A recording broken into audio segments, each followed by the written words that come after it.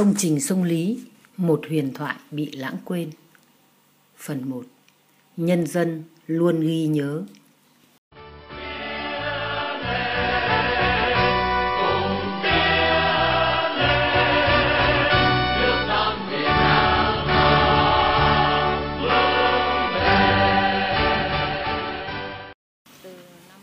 Trong lần Uyên Uyên Việt Nam tìm về nhà anh hùng Lê Trần Mãn ở huyện Nông Cống, tỉnh Thanh Hóa. Người dẫn đường, ông Lê Sĩ Tuấn, nói về một con sông do thanh niên đào vào năm 1976. Người em trai anh hùng Lê Trần Mãn, trong câu chuyện cũng nhắc đến nó, đến giai đoạn anh và thanh niên làng tham gia đào con sông này. Qua câu chuyện, được biết một vùng ngập lụt đói kém mất mùa liên miên là huyện Nông Cống đã trở nên trù phú phần lớn nhờ con sông ấy. Mặc dù không tìm được tư liệu nào trên mạng, Uyên Uyên Việt Nam vẫn quyết tâm tìm hiểu về sông Lý, một sản phẩm của ý chí và sức mạnh đoàn kết để thể hiện sự ngưỡng mộ, tri ân đối với tuổi trẻ 40 năm trước. Đầu mối của chúng tôi là Facebooker Hồn Hoa Thánh Ông từng là phó chỉ huy công trình sông Lý của tiểu khu Hoàng Hoa Thám, phụ trách kỹ thuật. Ngày đó, thị xã Thanh Hóa chia thành những tiểu khu, trò chuyện say sưa, sôi nổi, nhưng lại ngại ngùng trước ống kính. Ông đã đưa chúng tôi đi dọc sông Lý, đoạn từ quốc lộ 1A xuống đến biển, ghé thăm khu định cư của nhân dân vùng phải di rời khi đào sông Lý. 40 năm trôi qua, nhân dân nghĩ gì, nói gì về công trình thủy lợi ngày ấy. Đây là phần Mời nước các bác mặn. cùng theo dõi.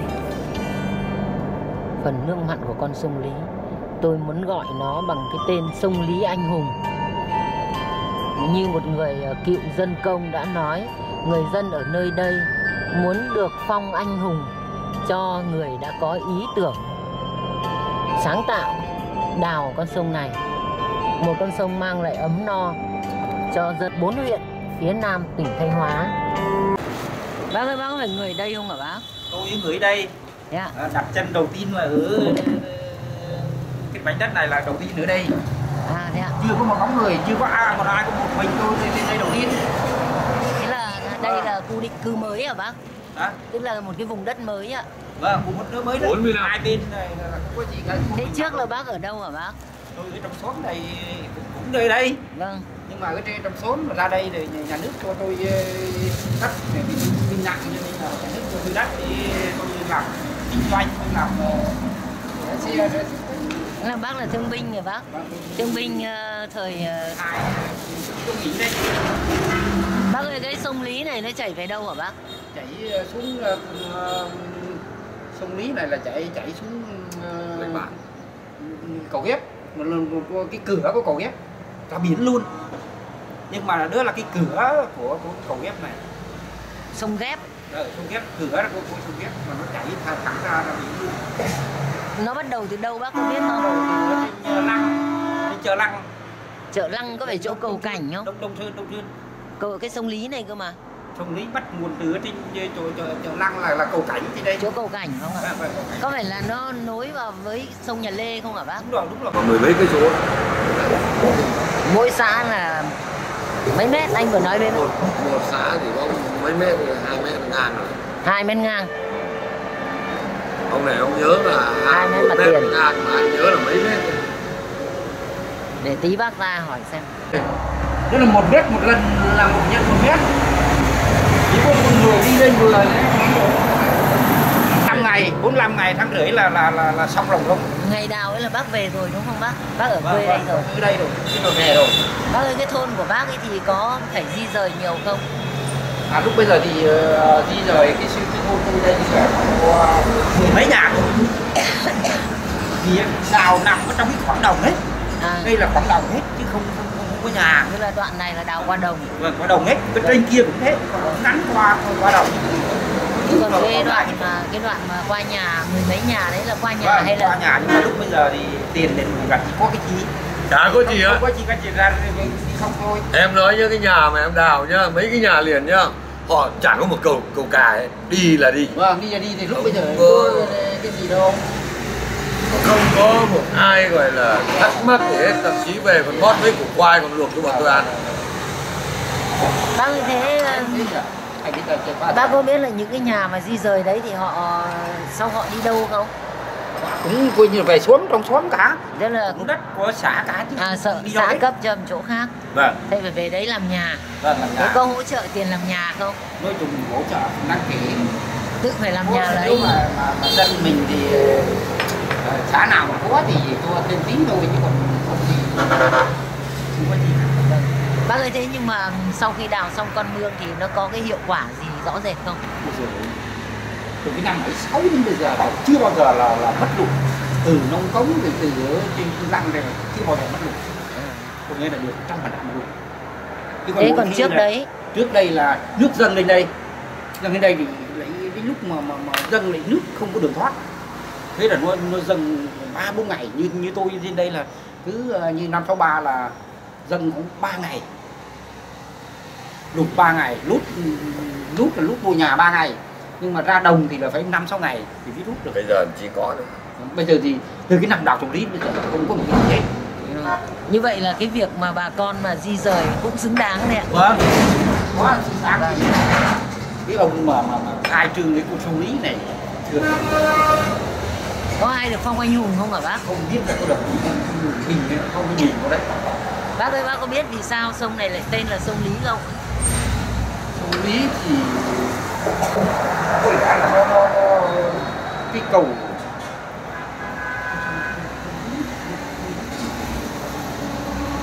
Có lẽ là nó nó, nó dựa theo cái cái cái nhà lê cái sông nhà lê thì nó đặt thêm thêm cái lý thì là cái gì nữa? Trước đây thì ở đây có sông không ạ? Không không có gì.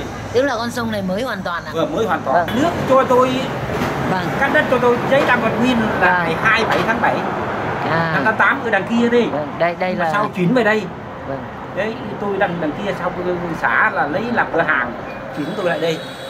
Tức là ngày 27 tháng 7 thì Vâng. nhà nước cấp cho một Cấp miếng đất một mặt đường. Vâng.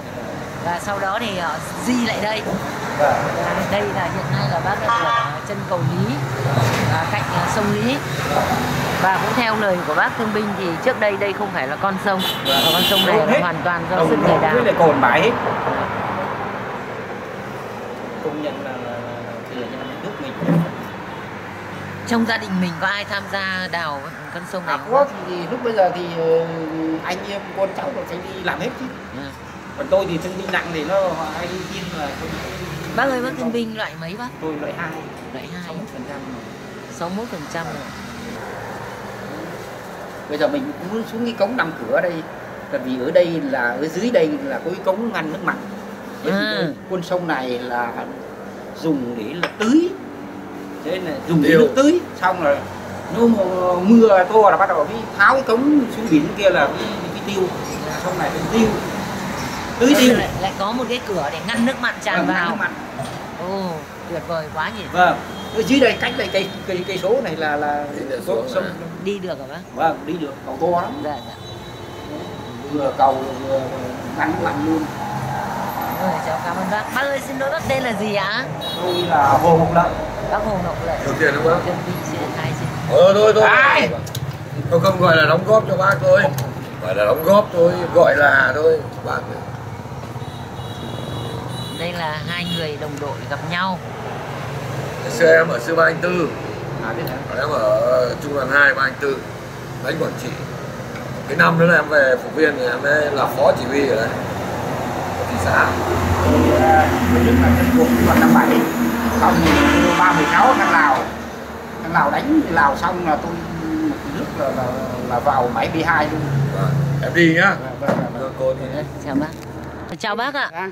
bác ơi bác có thể giới thiệu ờ, tên của bác và nơi ở được tôi không là Nguyễn Thị Khuyên để Dạ, chào bác Khuyên. cùng cán bộ bộ về hưu à về hưu trí Vâng. ở, sống tại thôn cung quảng thạch quảng sương ở đây dạ ở gần ngay đầu cầu cống Ngọc Giang dạ bác ơi bác có thể giới thiệu về con sông này được không? Dạ, giới thiệu là con lịch sử của con sông này là trong cho toàn tỉnh Thanh Hóa và bốn tỉnh của phía nam miền Trung.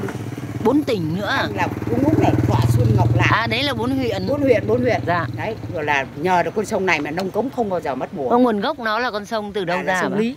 Vâng. sông Lý từ sông Hoàng chuyển xa đào qua cái, cái sông này là sông Lý. Là mình đào à bác? Là phải đào đào bằng tay ngay đường ngày năm bảy bảy bảy bảy sáu bảy bảy là đào bằng tay. Dạ. Ngày đấy bác có tham gia không bác? Dạ, lúc đó có tôi cũng đây tham gia. À, thế ạ? làm trong vòng 45 ngày lúc là thanh niên mà. Vâng. Cho nên là cũng ờ, lúc nữa là cũng ờ, mới mới xây dựng. Rồi rồi cũng có đứa quân thay ờ, thứ hai rồi xuống đi đào rồi đội đất này. À. Nói chung là chương trình đào cũng lúc cấp tốc lắm. Làm bằng tay hết hả bác? Tay hết. Không Ừ. có thủ hoàn toàn là thủ công à, chứ không có không có cơ giới. Dạ. Nên là thế là mỗi người tham gia 45 ngày hay 45 toàn ngày. bộ công toàn trình? bộ công trình làm làm đốt rút toàn tỉnh mà toàn tỉnh làm Huyện, công trình có các 45 huyện. ngày có 45 ngày mỗi một huyện một khúc cái gì thôi một khúc một khúc à. thế là đào xã mình thì được khúc bao nhiêu bác có Dạ. biết không cái khúc đó không biết đâu bây giờ con số số liệu bây giờ À, quên cả dạ, dạ. nói chung là thế cho nên là đến bây giờ thì các ờ, chị ờ, lục lại thì chúng nối sơ bộ là như thế thôi Dạ. Bác ơi thế con sông này thì ờ, cái hiệu quả của nó thì như nào bác? nói chung là chúng tôi vẫn làm người dân này Dạ. nhưng các tôi cũng nên khen những cái ông nào mà thiết kế đào con sông này phải tặng anh hùng lao động cho người ta Bác có biết ông nào là ông À, thiết kế tôi không? không biết bởi vì người À, ta đã còn cứu sống được bao nhiêu người cánh đồng không bị úng ngập úng ngày xưa là quốc lộ 1A là ngập hết nhưng mà từ đó chỉ đi đào con sông Lý này không ảnh hưởng đến Tức là theo bác nên phong anh hùng. Vâng, và tụi nhiều dân chúng tôi là muốn phải Thế phải mà được rất tiếc là không biết anh anh Không là anh nào. Dạ. Bác ơi đây có một cái cống này thì cái cống này nó cống có uống của tiêu uống là ngăn mặn và vừa ngăn mặn vừa tiêu uống dạ. nó là nước ngọt chảy ra và ngăn nước mặn không được lên Ừ. Đấy, Thế bây giờ là đang hiện nay đang đóng cửa đấy. đóng cửa Đóng rồi lúc này. nào đây trên đây đầy xuống thì bắt đầu là ví ngày xưa ba tôi ăn bằng nước sông nhưng nay là ô nhiễm tận vậy Ừ.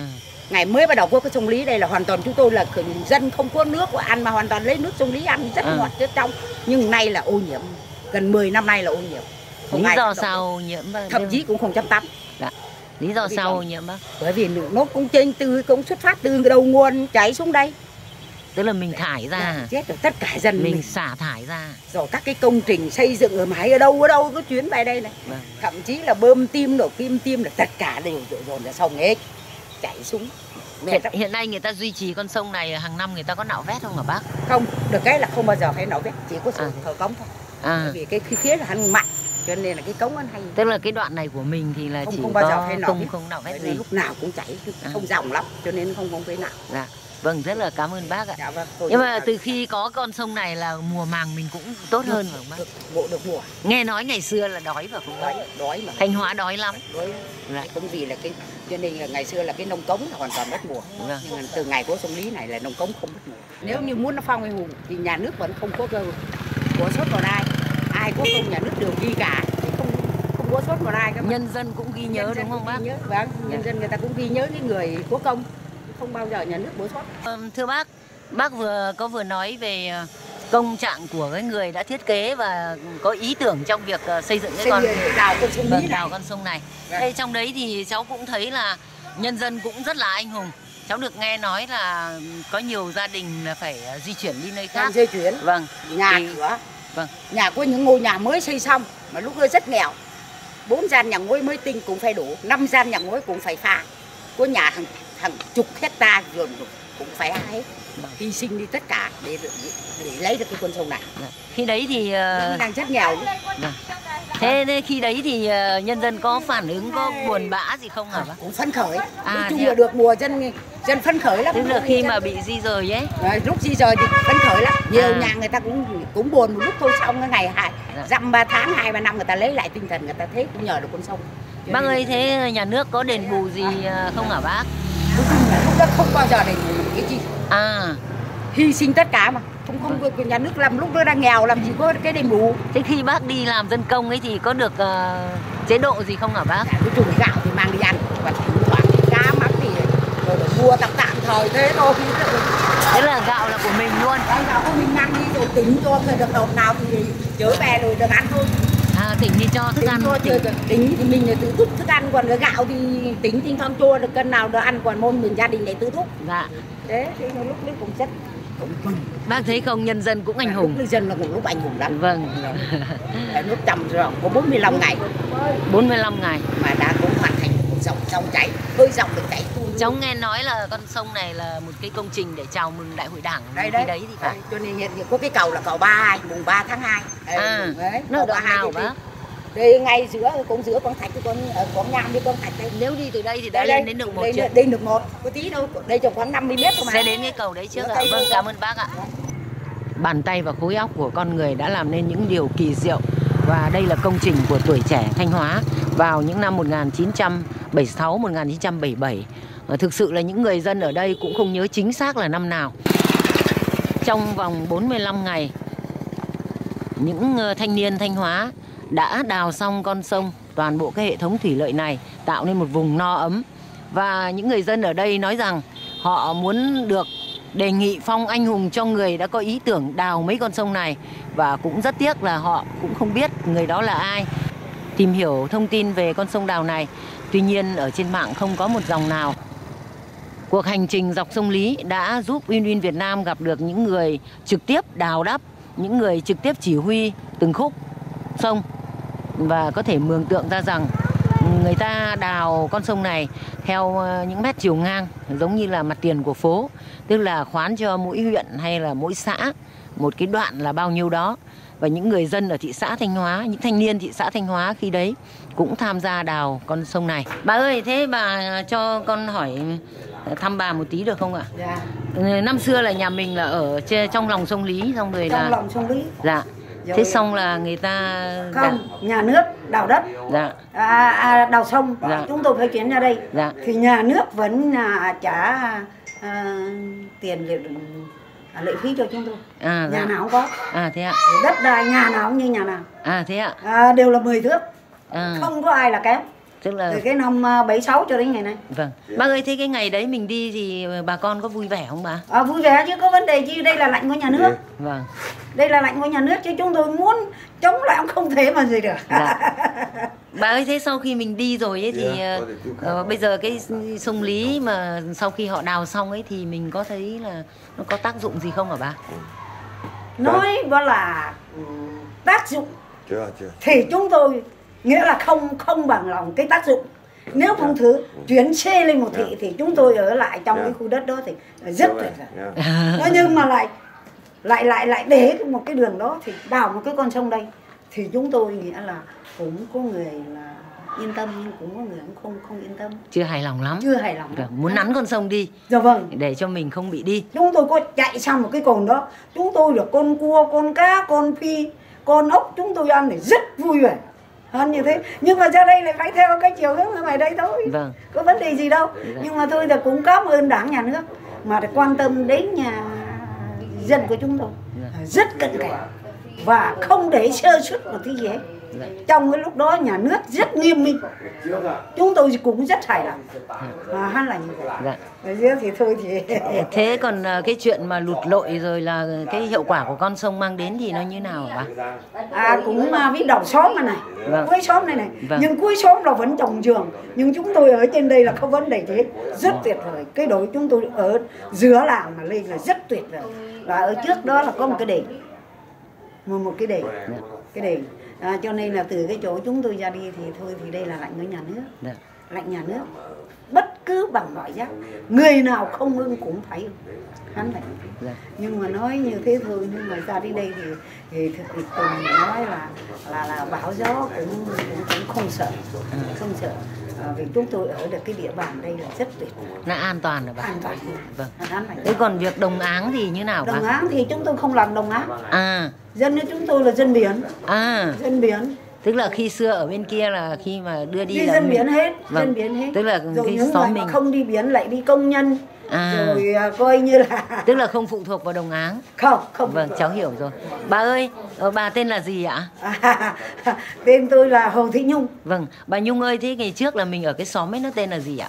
à coi là cũng là thôn Nam Dạ, cũng cũng là cái cái cái sông Nam dạ, sông Nam rồi sông Bắc rồi sông Đông dạ, rồi sông Bồ Dạ. nói tóm lại là là là là chúng tôi là ở cho từng xóm từng xóm từng từng khu vực một thôi không vấn đề gì Xong chuyển sang đây thì là cũng lại Cũng đặt lại là y cũng tên như Nam. thế. Vâng, tức là Đấy. chuyển cả thôn đi. Dạ vâng. Và cũng làm y như thế. vâng vâng vâng Vâng. rồi cũng có người vào thôn Bắc rồi thôn Hải à, thôn Tiên coi như là cũng không phải à, tất cả là địa bàn cái chỗ đây đâu thế nhưng mà chia từ đầu làng cuối cuối À. xã đông lắm cái dân số của chúng tôi lúc hồi là không khác là thành thị Dạ.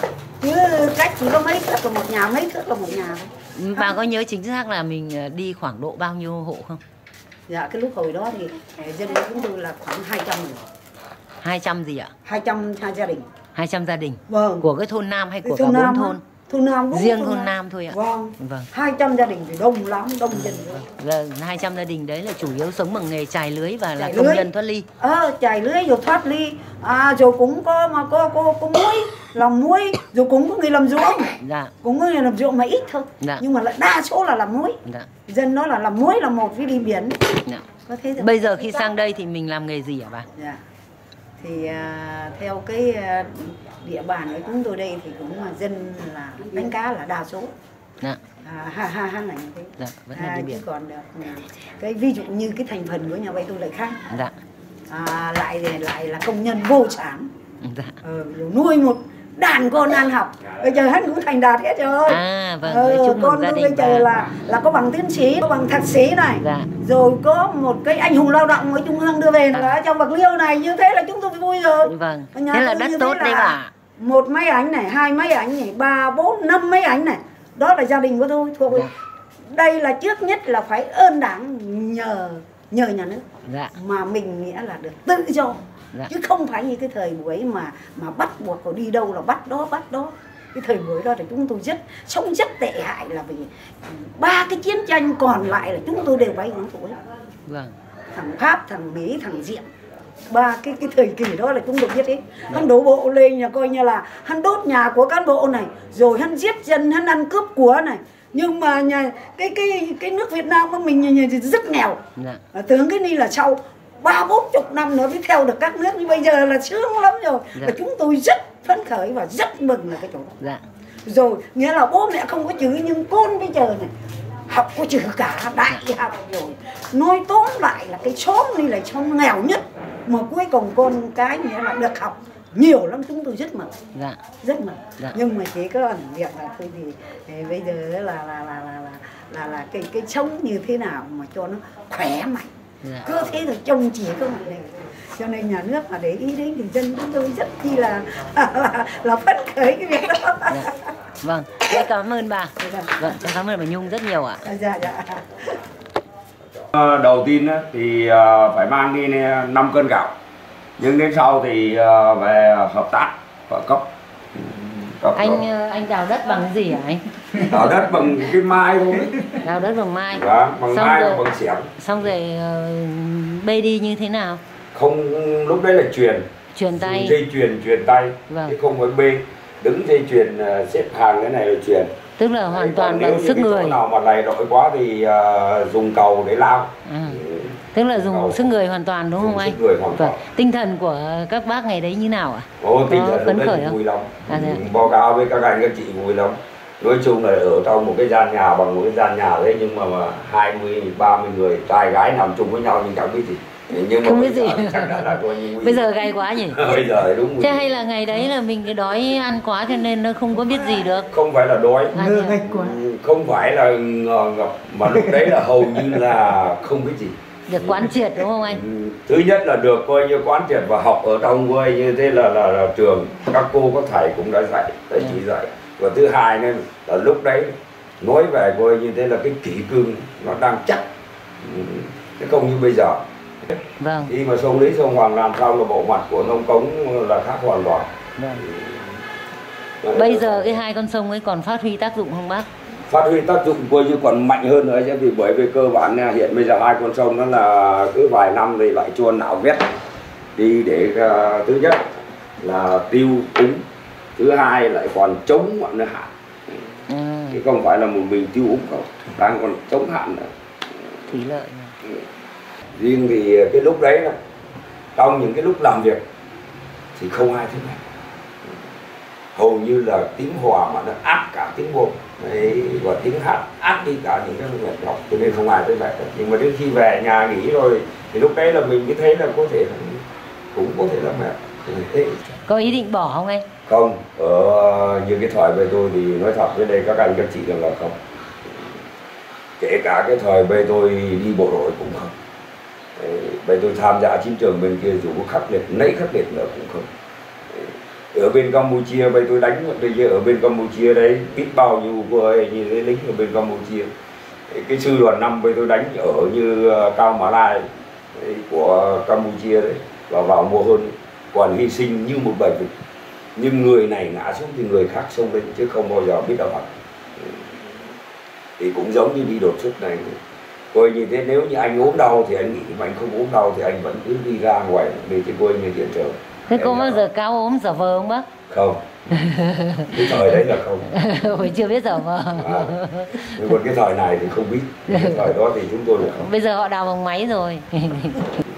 Bác ơi thế cái ờ, lúc mà mình chưa có con sông đấy thì bác có biết là cái năng suất ở trên cái cánh đồng của mình ấy là thường là bao nhiêu tấn một hecta không bao nhiêu kg thóc. Tới khi mà tôi lớn lên đấy, vâng.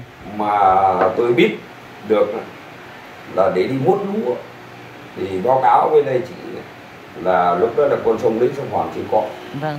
Thì nói đúng là lúa lúc đấy này thì hầu như là của nó mọc như cái này. ừ.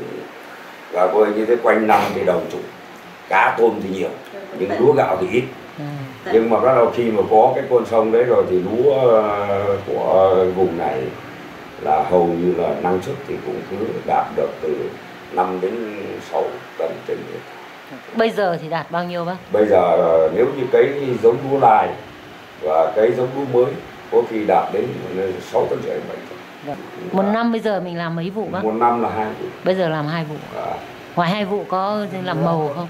Có chứ cô thì bởi vì à, nếu như mà hai vụ lúa ở những cái à, khu mà đồng mà không quy hoạch làm màu thì chỉ làm hai vụ lúa. Chỗ nào mà quy hoạch làm màu thì vẫn làm màu vẫn trồng ngô trồng khoai. Bây giờ bác có còn đi làm ruộng không? Có. Bác làm gì ở ngoài? Tôi à, bây giờ đó thì à, tôi làm bảy sào ruộng tôi đang cấy lúa. Mình cấy tay hay cấy bằng máy ạ? Ở đây à, đất đây Dạ. là chưa cấy được mày à, và vì đất đây là đang à, coi như đất vùng chiêm trũng à. Cho nên mà chưa cấy được mày vẫn cấy tay và thứ hai nữa là chưa có coi như thế là truyền thông. Để mà lên chưa coi như đưa đến cho người dân. Và chưa có hướng dẫn. Bứt phá lên chứ. Không cái này là phải mà do chính quyền. Đấy do chính quyền này. thứ nhất là từ mà đây cái xã